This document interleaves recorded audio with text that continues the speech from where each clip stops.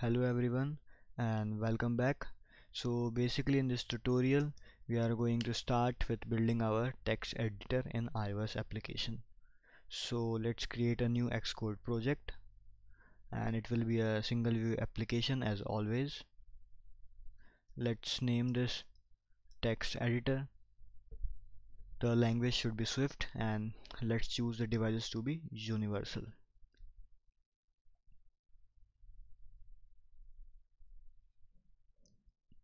and one more thing we are going to create this text editor without using storyboards. So for that our first step is to remove the main.storyboard file from the deployment info of our project. And then the second step is to go into our app delegate file and then we have to create our manually window. So for that we will start by doing window equal to UI window and it will take a frame and the frame will be the actual size of the device. So it will be UI screen dot main dot bounds and then we have to make the window visible. So we can do this by saying window dot make key and visible and then we have to specify a root view controller for our application. So we can simply do this by saying window dot root view controller equal to the name of the view controller that we want to use. So we already have a file called view controller. So we are just going to specify the file of that name. Sorry the name of that file. And if we go into our view controller file then we can cross check that our window is perfectly built and our view controller is loading by simply changing the background color of our view controller. So we can simply do view dot background color equal to UI color dot I think I should do red to check. And if we run the app you will notice that the background of the whole view will be changed to red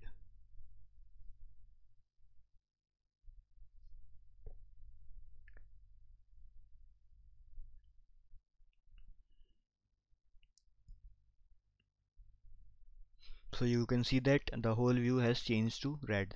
So basically it means our window has been successfully created. So let's change this back to white because we don't need the red color in the background. So basically in this first video of the text ed editor what we are going to do is we are going to build a build a UI for our application. So for that let's create a new class and it will be a swift file. And let's name this main view. So basically this will be our view file and it will contain all the view code that we want for our text editor. So first I'm going to import UIKit and then I'm going to create a new class which will be called main view and it will inherit from UI view. Now we need the initialization method and inside this we are going to call super.init and by passing the frame. Now Xcode will give us some compiler errors so let's fix them by autocorrecting.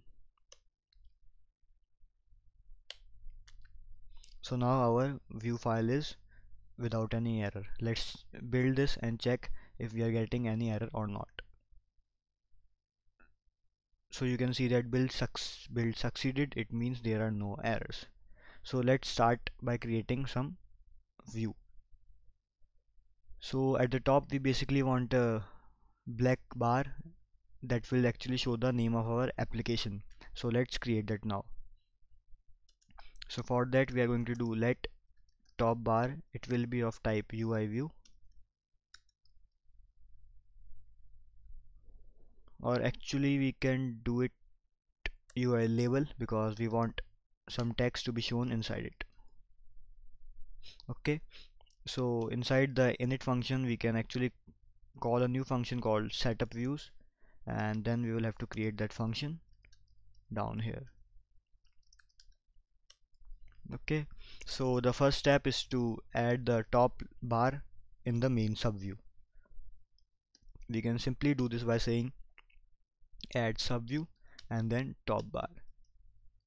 And then we have to do top bar dot translate auto resizing mask into constraints and set this equal to false. Okay now we can do top bar dot background color equal to UI color and let's choose the black color. And now we want some mm, text. So we can do top bar dot text equal to let's name this my text editor for now. And then we want some size.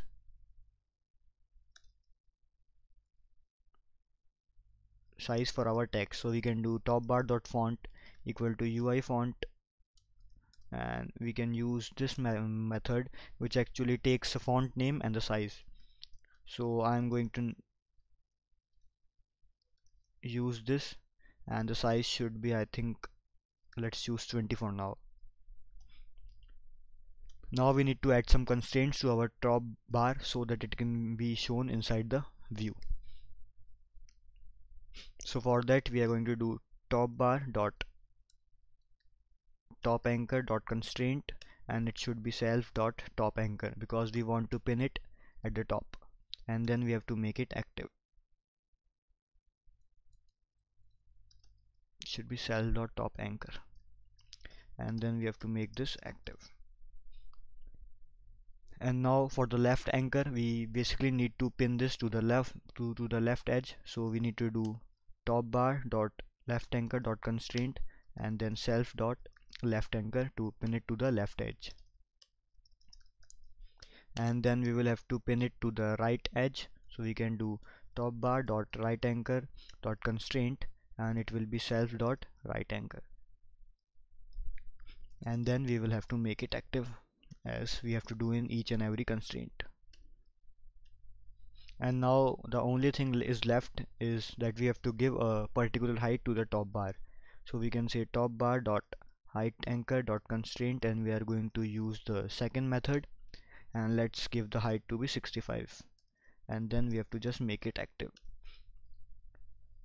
So we are basically done with all the top bar work. And one more thing is we let's change the text color.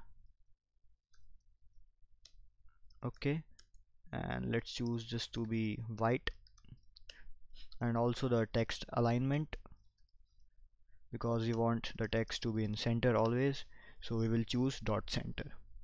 So this is all the work that we need to do for setting up the top bar in our view. Now basically we have a view and we need to add this view into our view controller. So for that we will go into our view controller file. And here we will also create a new function called setup views. You can actually call this function whatever you want but I like to call this setup views every time. So inside this function what we need to basically create and first we need to create an instance for the main view like this. And then we need to add this whole main view to our sub view so you can do this by saying view dot add sub view and where we are going to add main view. And then we have to add constraints to our main view. So let's do that. So we are going to say main view dot translate and it should be equal to false and then let's add some constraints. So basically we want main view to be equal to the size of the device. So for that we are going to pin it to all the four different edges so we are going to say main view dot left anchor dot constraint and it should be view dot left anchor. And then make it active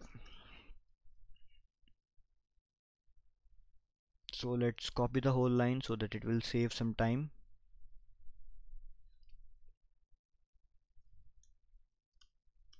And basically for that we need top anchor and this is we need right anchor and for this we need bottom anchor. And let's change it here also. It should be top anchor it should be right anchor and this should be bottom anchor so I think we are done. Let's run this and see whether we are getting a top bar at the top of our view or not.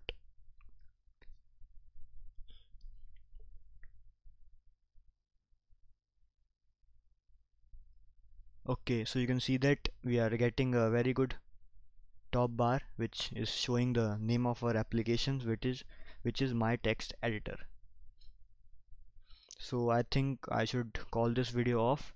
And in the next video we are going to create some more views and we, we will embed this in our main view controller. So I will see you in my next video